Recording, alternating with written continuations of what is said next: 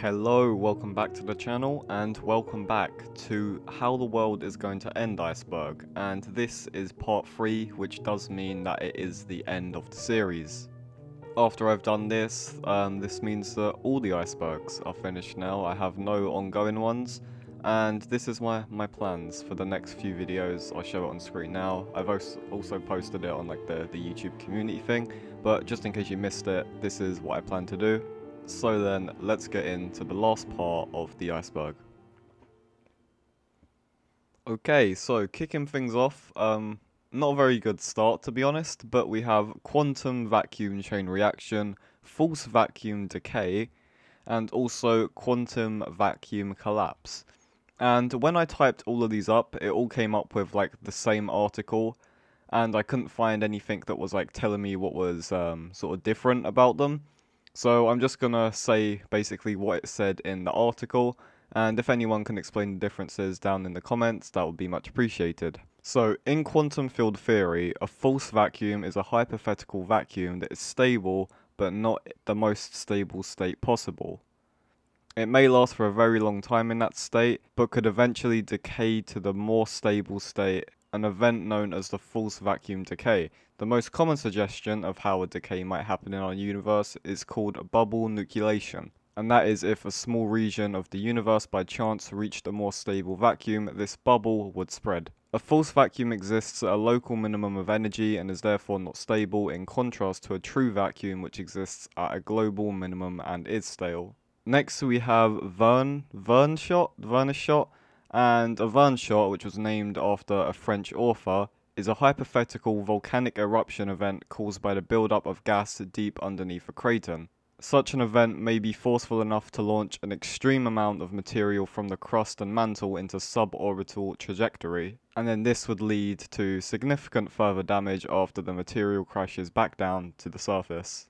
Next we have a cobalt bomb, and a cobalt bomb is a type of salted bomb, which is a nuclear weapon designed to produce enhanced amounts of radioactive fallout. The concept of the cobalt bomb was originally described in a radio program by physicist Leo Szilard on February 26, 1950.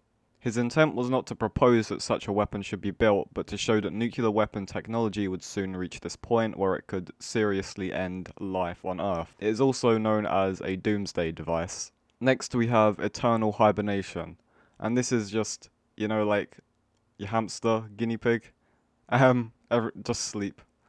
So if everything just went to sleep, this is just me thinking off the, the top of my head. This is what I think would happen. Isn't there a thing about bees? As I've said in a lot of previous videos, science is not my, my strong point, but I swear that I read something where if like bees went extinct, like the world would end.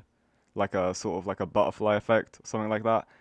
Yeah, so it would just be like that, but I think I'm starting to second doubt myself. I'm gonna move on before I say something stupid. Mutually assured destruction, or MAD, is a doctrine of military strategy and national security policy in which a full-scale use of a nuclear weapon by two or more opposing sides would cause the complete annihilation of both the attacker and the defender. To So, to put it simply, I'm pretty sure this just means if two nukes uh, hit um, both sides at the same time, killing both of them and also the world. It's like when you trade uh, on like Siege or COD but on a, a, a, much larger scale, obviously. And that is the end of tier 7, and now we are moving on to tier 8. First, we have the Zora Sphatic prophecies, and the Zoroastrian prophecies foretell the coming of the world's savior, the prophecy from the Jamasp Nama. It is said that the sun will stand in the midst of the sky on the time of Oshir Bami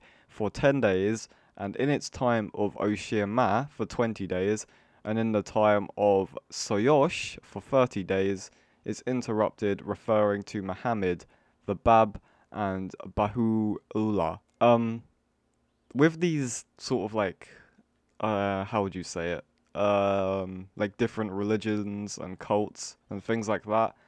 I read um, what I find on it, but I still have no idea what it means this is like some religious thing, so you have to be sort of uh, familiar with the religion to, to understand. Which I am not, but um, I did try. Um, I did a lot of uh, on Wikipedia and all that. I was reading about like the um, all the the names which I just read, and I still don't really understand it. So um, I'm just gonna move on. Next, we have total existence failure. And total existence failure is when something malfunctions by virtue of not existing at all, which is quite a, a cool and also quite a scary concept to think about. And in the context of this iceberg, I think it means if sort of all the machinery and everything. And in this context, I think it means sort of like the machinery or even the humans if all had a total existence failure.